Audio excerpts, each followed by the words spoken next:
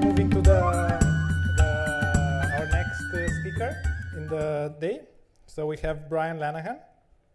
So Brian is the author of the Amazon bestseller Artificial Intelligence: Foundations for Business Leaders and Consultant. He's an uh, MIT AI program graduate and former bank executive. Consults to diverse organizations on developing and implementing artificial intelligence strategies. Brian will share three case studies to illustrate companies that have been successful at developing a robust uh, artificial intelligence strategy and how you can incorporate these strategies in your own business. Brian's humorous approach to business and technology keeps audiences engaged and invigorated about AI and its future potential.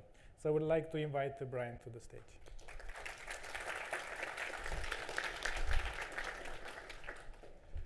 Thank you. So I have to say I respect the people in this group, and for two reasons. Number one, you're part of a community that's solving the big problems. And number two, wow, do you take instructions well? I saw everybody moving, and Matthew, where were you about two books ago? That wrist exercise looked pretty good. So I'm thrilled to be up here today, not as an AI specialist, a coder, or programmer but I work with large companies, with CEOs, with senior leadership teams to talk about things like AI strategy. Last week, I was in Vancouver talking to the Association of Certified Fraud Examiners. Sounds exciting? The next day, it was the Financial Crimes Investigators. And can you imagine what I was talking about?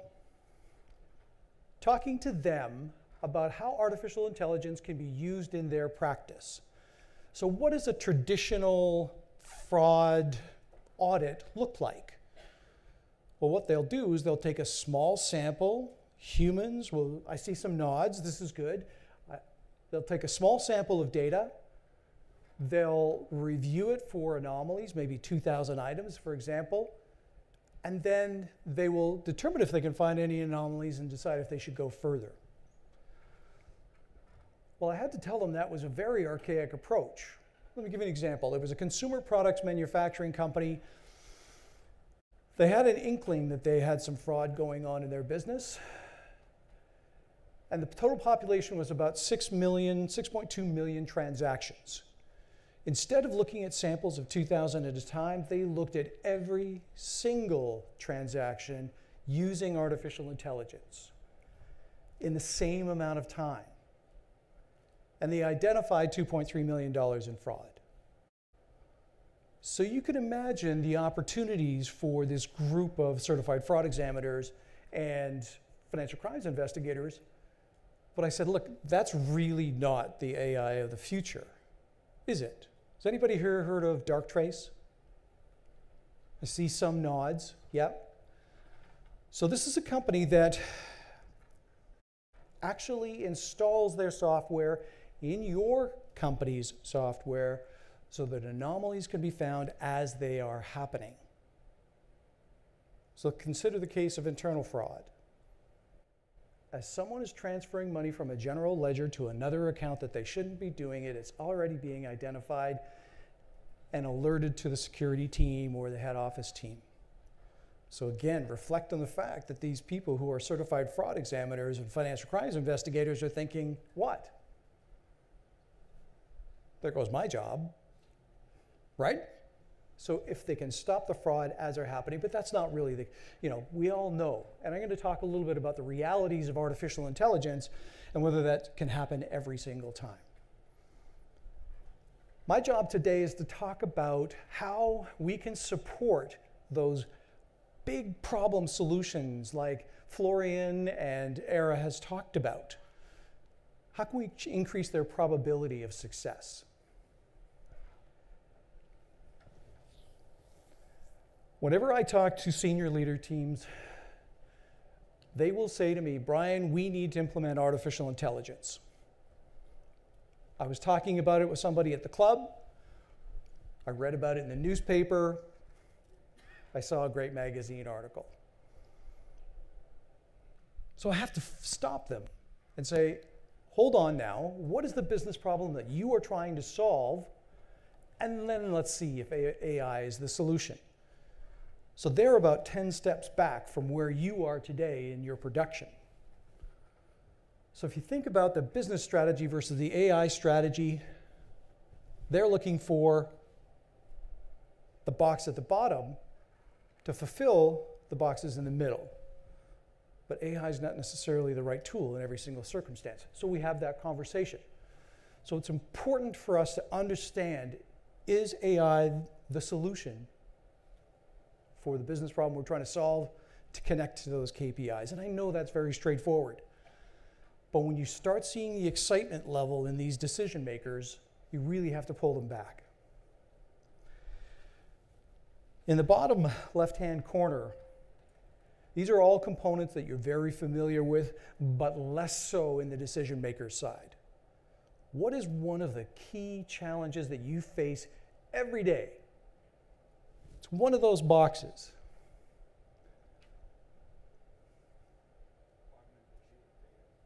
Somebody said data. Absolutely. Is it clean data? Is it accurate data? Is it labeled data? And the list goes on. Those aren't even conversations they've had yet about how they're going to implement AI. Do they have the talent within their team to actually go down this path? Do they have the infrastructure? I honestly have talked to some, some companies that still have paper files. How are they going to make that leap? let alone have a discussion about the appropriate algorithms to use. So, what are some of the keys to success? And I'm probably reinforcing for some of you, but this to me is number one. And what do you mean by diversity? It's on multiple different dimensions. Everybody's familiar with the recruiting issue of not having any females being promoted within a certain organization because all the past data said that men got promoted. We need to have women on those teams, and I'm so glad they're well represented here today. What about age? You know, for those people who are over 40, okay, over 50, can they contribute? Of course they can. I'm working with a company in Munich, Germany, and they've created a digital coach. And they have a team of excellent, excellent coders. They've created some really interesting, exciting technology so that an individual can work with a digital coach interim to their actual person to person coaching conversations. It's really going to amp up the capability. But what they didn't have was reliable data. Well, the person who I connected with, who co wrote my last book, had 40 years worth of performance management coaching data and really didn't know what he was going to do with it. But it had been validated by three different universities over 10 years. All of a sudden, that connection, and by the way, he's 67. He's got a great new lease on life about taking that data and moving it into the AI world other types of diversity, backgrounds, specialties. Does anybody here have an arts background? Yes. Why is that relevant? The creative thinking of arts students is incredible. They don't have the limitations of rules based programming to have them on that same team asking why or why not is crucial. So, number one, diversity. Organizational culture.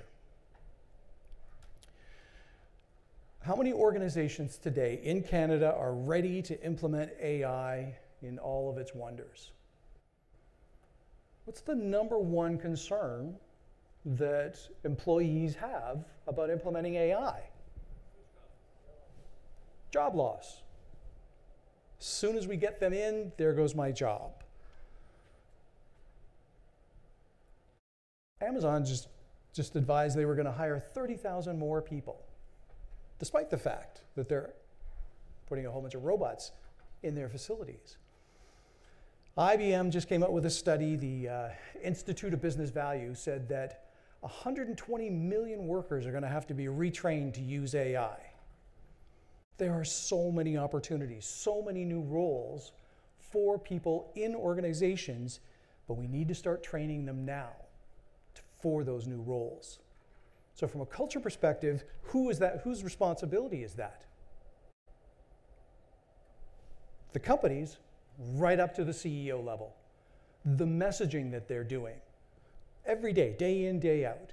We are going to invest in AI, but we also need to invest in our people. That organizational culture is critical. Now, I know when you're a small startup coming up with a solution, it's a very small team. But the team, but the groups that are going to be using your solutions are going to be impacted as well. You've heard this before. Start small and scale. The number one question that I hear from people who are senior leaders is how do I even get started on this? They have this crazy idea that they're going to, on day one, install this AI across their enterprise. And that's a massive challenge. And what happens to the conversation they have with their board of directors? They say, We want to invest in AI. Number one concern those board of directors is what is that going to do to our core revenues? Are you going to lose your focus on our core business? But by starting small on an issue that's really a high priority, it'll be, it'll be much more successful to implement AI. So starting small and scale.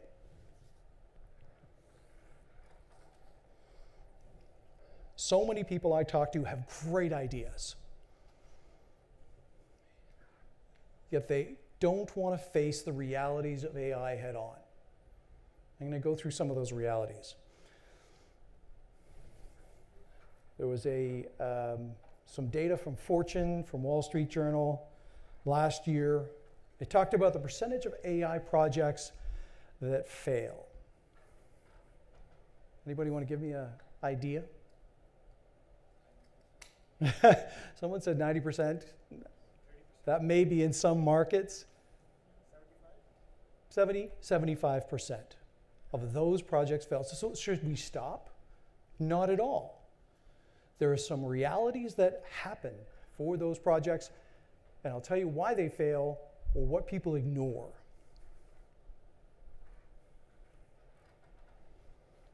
In terms of the high failure rate of projects, it's rarely because of the technology. Most often, it's because of the people. Is that surprising? Whether that's pushback, other priorities, lack of belief, concern about jobs, the list goes on and on. So if an AI team is looking at a customer who's looking to implement this, make sure you have your own thoughts around that people issue. Unrealistic expectations of the technology. Has anybody ever seen this? Once we implement AI, everything's going to be better. So, setting realistic expectations of those solutions that you have, critical. Whether it's about, you know, when it's going to be delivered, what its capabilities are, what it's going to cost us.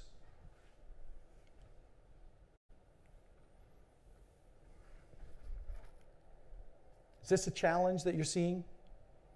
Some of the, some of the statistics suggest that 90% of the data that's ever been created has been, been created in the last two years, right? That's a pretty common phrase. The second part of that is 90% of that data is unstructured. So if that's truly your going in position, it creates some challenges. Not insurmountable, but creates some challenges biased data. So we talked about the gender bias. There are all sorts of different ways that the data can be biased. But again, not an insurmountable issue. What about those regulatory agencies? I work a lot in the financial services industry. I've worked with a lot of auditors. If those auditors got the sense that we, and not just the management or director level, but if the C suite level understood what was going on inside those algorithms, they felt much more comfortable about their position with us. But here's the flip side. Someone mentioned, I think it was Florian mentioned uh, the GDPR in the um, European Union. The National Institute of Science and Technology in the US has just recently issued some uh, draft guidelines. But today's regulation is extremely immature when it comes to artificial intelligence. So, when will that maturity gain pace, and how will you have to react? Someone mentioned data privacy, absolutely critical. Does anybody hear what happened in Ecuador last week? Yes? 20 million records of 6 million citizens were live on the internet with not even a password. Bank records, social insurance records, where they lived. Within a day, arrests were being made of the company called Novaestrat and their directors because they allowed this to happen. So you can imagine, you can understand why people are reticent to allow companies to deal with their own data. Responsible AI. Have you had this discussion before, Dragos, about responsible AI? Ethical, that kind of thing? In not on this topic exactly, but okay. So more and more companies are looking for an understanding of how we're dealing with responsible AI. TD Bank recently led a responsible AI forum. Did anybody attend? Anybody aware of that? So they were, what was one of the topics? Do you remember under responsible AI? Did they talk about ethics, for example? Yeah. So these large organizations, whether it's through the World Economic Forum or their own individual um, are looking for ways to create ethical solutions because what's at risk? Their brand. And particularly in financial services, your brand is everything. What about this issue, human oversight? There's a lot of belief that artificial intelligence has incredible capabilities. Has anybody seen, um, well, maybe you remember two years ago, Boston Dynamics was showing off their Atlas robot. And what could it do? It could go up a step, right? Just the other day on LinkedIn, they did an updated video. And do you know what it can do now? Yeah, it can perform like a gymnast in that short period of time, doing somersaults. So you can imagine how people are concerned about the pace at which you and your colleagues are developing artificial intelligence. So they're looking for what is the human oversight? What are the controls that you're going to have in place or going to enable? Because if your solution says we don't need any oversight, it's not a sellable.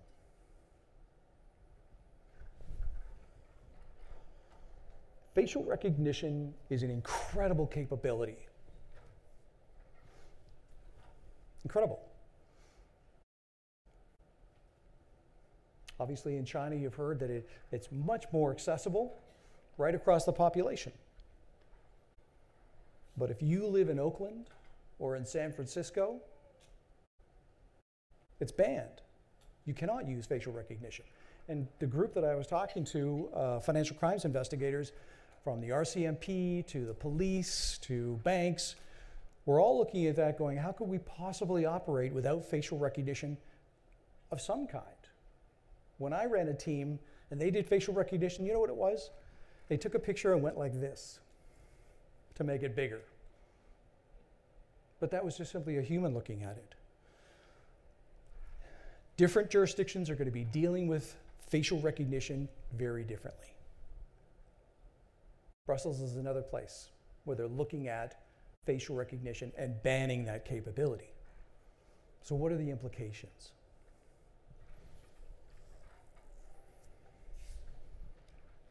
Implications like deepfakes.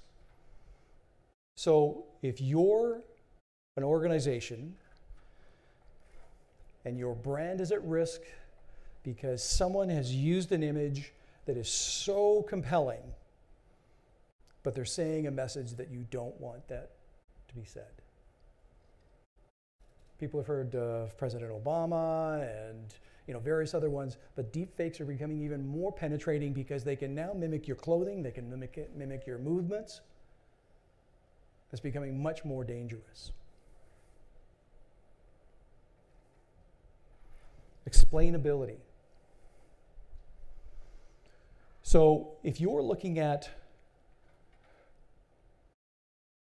an algorithm and you're talking about or convolutional neural networks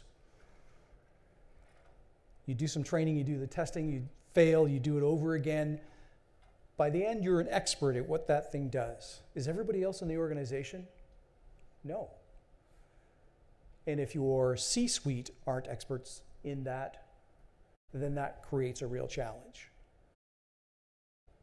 Some of the companies that I talk to, based on what they do today, I work with a large payroll company. They have, in the past, recognized themselves as a services company with some technology on the side. You've probably heard this before. I really think they're a technology company with some services on the side. It's becoming that data driven. So if that's the case, then the leaders of that company really need to understand that explainability issue. Here's the one that I really believe in, and I obviously you do. There were, I was looking at a picture from two years ago of this same group. Dragos, I think you may have had 20 people in the room. I beg your pardon, we had 40. um, and now there are 350. The collective power of the people in this group to not only share ideas, but make sure that people don't spin their wheels or restart things or you know start from scratch. I hear it over and over again. I'm thinking of building this. Well, who have you talked to? What ideas have you taken off the shelf? What testing have you already seen done or research that you've you know, found that was compelling? So a community like this is critical for the success of artificial intelligence. Canada is one of the number one countries in the world for AI research, one of the number one company, uh, countries in the world for AI training, but is woefully behind in AI implementation. So this group will make a huge difference.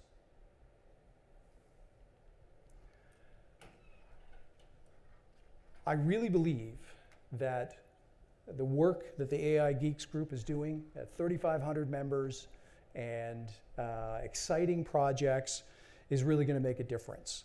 Um, it's so compelling that I've included it in my uh, my third book coming up in November, because I firmly believe that there's a huge opportunity for Canada, and it's sitting in this room. So thank you very much.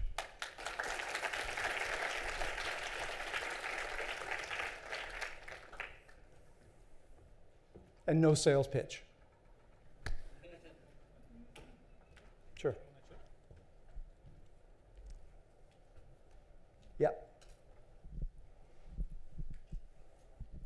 Uh, first of all, thank you for this. I come from a background of doing mass surveillance projects. And ah, uh, yes. Okay. Yeah. and I do realize. Sorry, did everybody hear that? Yep. Yes. Okay. So um, I do understand what AI ethics is, is, is, is, impo is important because yeah. none of those solutions was supposed to, it, they were supposed to give predictions and there was always to have to be a human oversight yeah. on it and people to look into that threats before we, they go and say like, let's go and arrest those people. But the thing is, when people s- because uh, because we're just human when we see a threat we just act to it. We don't we don't activate that human thing.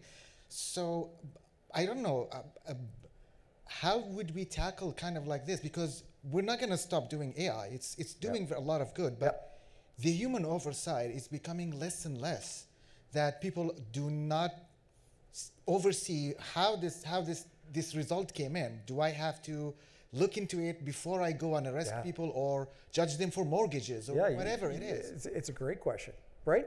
Um, I used to work in a credit lending department. If you have to leave, don't worry, you're welcome to get up and go. I know it's late.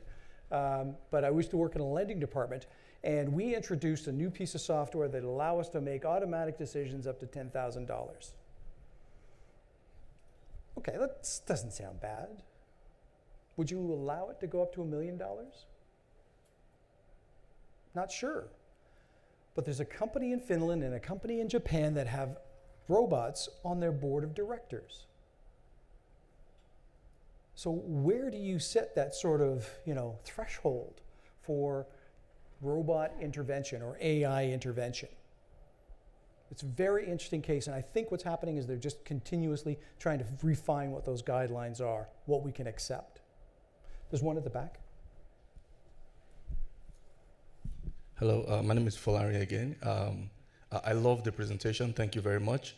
Uh, I'd like to first uh, give you a compliment because when you asked for the people that, that have arts background, I thought that was fantastic because uh, you included them in the AI uh, environment, and, and we do need those people who don't have limitations of math and science and rules based to actually be creative. And we all know that uh, you know AI now uh, draws and and uh, paints pictures, and it's actually something to behold. Um, but my actual question is something that uh, we can all relate to. It has to do with Tesla, right? Uh, Tesla is currently waiting for the government to allow self-driving cars to essentially self-drive on the roads, and uh, uh, the data uh, shows that their cars are now 10 times better uh, drivers than humans because they have 10 cameras all around. Yeah. You know, human beings only have two eyes. Uh, they have radars that scan the roads um, for, and they can even predict uh, predict accidents two cars ahead before the accidents happen. So, can you please give me your thoughts about how the government is is is you know balancing the regulation Yeah. of being careful, you know, like not to give Tesla the permission to allow those self-driving cars to drive, and actually um, you know acting fast because those cars can actually save lives. Yeah. Can you give me your thoughts about the regulation on that? Yeah, yeah. Uh, I'm sure lots of people have thoughts on autonomous vehicles. I have two thoughts. Um, one is around insurance. You know, so if you're driving one of these automated cars, who's at fault? Who's going? Is it the manufacturer? Is it the driver? Is it, you know, um, uh, some of the, the insurance company? Um, interestingly enough, Tesla recently announced their own insurance company. If you're the car manufacturer, what a great idea, right? If they really believe they've done the numbers, then why not that? The other thing I think is a question around geofencing. Um, I'm not sure if anybody's familiar with geofencing, but just you know, give that sort of parameter where the vehicle can go. Um, and to my start small and scale, I firmly believe that rather than just simply launching autonomous cars onto the road, they started off in university campuses and Google campuses and so on. I really firmly believe that, it, that they will have the opportunity to sort of geofencing areas that the car can be in autonomous mode. Um, but it's going to create all sorts of interesting new dynamics, that's for sure. Are you in the business? Yeah, yeah. Can I just make one more comment about your arts thing? Um, so, uh, for anybody who's in the arts, um, if uh, artificial intelligence creates a sculpture or a painting, is it art? Some yeses, some nos. So, a definite no. People will buy it. Sorry, what's that? Beauty's in the eye of the beholder, right? Ah, so there's a person behind the creation of the AI that's creating the art. It's very interesting. I always held the position that the artist is trying to tell a story when they're creating art of some kind, and an arts purist might do that. But when you mentioned, you know, the question around arts and artifi- you know, artificial intelligence, it goes way beyond. And I think whenever you're thinking about your solutions, think about the parameters that you're working within and the unexpected impacts. Do we have? Nope. Okay. Thank you very much. Thank you.